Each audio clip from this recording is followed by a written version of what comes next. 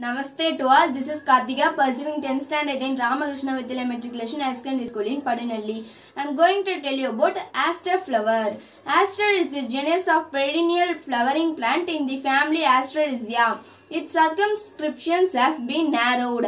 It is not now encompasses around 180 species, all but one of the which restricted to Eurasia. Many species formerly in Aster are now in other genera of tribe Astereae. Family of Aster. Aster is a scientific name Aster. Higher classification Astereae. Kingdom Plantae. Order Asterales. Rank genus. The name of Aster comes from ancient Greek word meaning star referring to the shape of the flower head. Many species and the variety of hybrids and varieties as popular as garden plants because of their attractive and colorful flowers. Aster species are used to food plants by larva of number of Lepidoptera. Species see list of Lepidoptera that feed on aster. Aster can grow in all hardness zones. Thank you to all.